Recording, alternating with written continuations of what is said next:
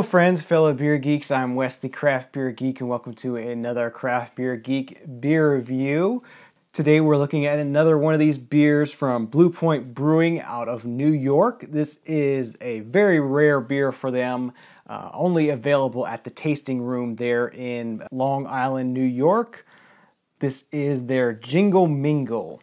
It is a barrel aged imperial stout with sour cherries. It comes in at 11.4% alcohol by volume, 31 IBUs, and as I said, a very limited release, only available at the tap room and brewery. Uh, so I'm really excited to give this one a try. I'm really sorry I wasn't able to do this review before Christmas. A lot of things came up around Christmas time and I just was not able to do any videos whatsoever for the couple weeks leading up to and after Christmas. Uh, but I do want to get this review done. So if you happen to be in the, the Long Island area, uh, for Christmas time next year, and maybe you want to stop by the brewery and give this one a taste for yourself. So let's get this one cracked open into a glass and see what it is all about.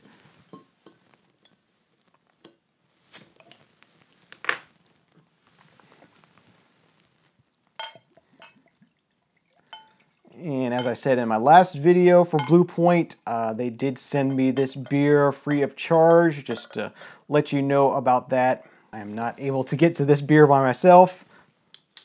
Thank you, Blue Point, for sending that out. Okay, so for the Jingle Mingle from Blue Point Brewing Imperial Stout. In the nose, I'm definitely getting the cherries. I'm getting some chocolate, some milk chocolate uh, cherries, and also a slightly boozy nose. It has almost the the note of like a an alcoholic chocolate covered cherry kind of nose on here. Uh, the head, of course, dissipated pretty rapidly on this one, being uh, over over 11%. Very, very dark, not seeing any light coming through on this one. So uh, I'm ready to go ahead and give this one a taste, let you know what I think. Cheers.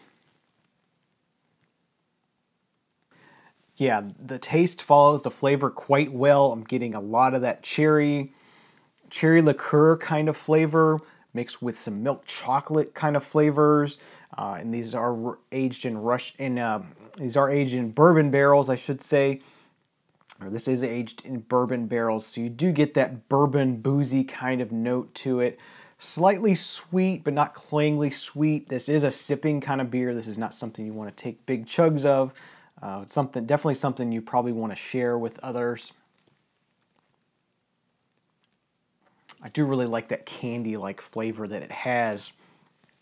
Almost like this is a cherry chocolate candy, uh, cherry chocolate liqueur kind of candy. And even though it doesn't have much head retention, it does have a, a nice amount of carbonation. Uh, it doesn't just sit on your tongue. It is, is kind of active when it hits your tongue, so that's really nice to help to help with this, uh, such a strong beer to give it a little bit of, of a of an action to it. I guess you could say a little bit of a bubbly effervescence to it is nice. Uh, as I say, definitely a sipping kind of beer. Definitely something you don't want to take a large amount of. Something that would be great for sharing a couple people. So yeah, with that being said, I think I'm going to cap the rest of this beer and save it. Maybe I'll have it later on tonight or tomorrow. I uh, definitely don't want to drink this all in one sitting by myself. Definitely too too strong of a beer, but really nice. And uh, if you're looking for something candy, holiday kind of flavors, uh, something stronger, something to sip. Uh, probably not something you want to have with a meal. Probably something you just want to sip and enjoy and and drink at night. And uh, when you're just sitting around the Christmas tree or sitting around the fireplace or whatever it may be, uh, really nice holiday kind of beer here or I guess just sip and enjoy while you're there at the tasting room. I uh, don't know if they sell bottles of this in the tasting room, uh, but hopefully they do, so you can take it home and enjoy it with you, uh, with your family and friends.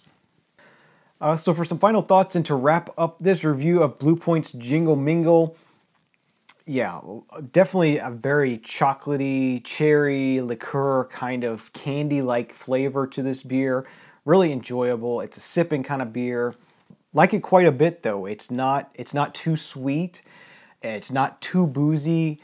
It, it, it's it's really well done. It's got a nice it's got a nice balance of of chocolates, cherries and the bourbon sort of wintry kind of things.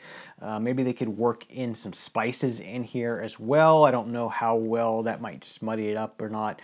Uh, but it's a good beer as it is. So with that being said, I'm going to give it an 8 out of 10 for the Jingle Mingle from Blue Point Brewing.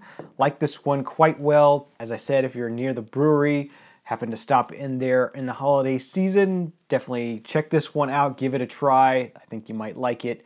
Uh, definitely a really interesting holiday ale. So, with that being said, thanks for watching this episode of the Craft Beer Geek. If you like this review, you can find lots more at craftbeergeek.com.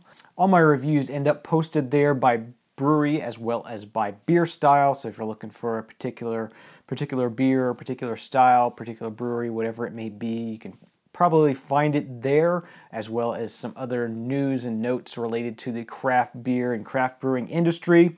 Thank you for watching this episode. If you'd like to support my shows, you can find Amazon.com shopping links in the show notes below on YouTube or on the right hand side of the page on craftbeergeek.com.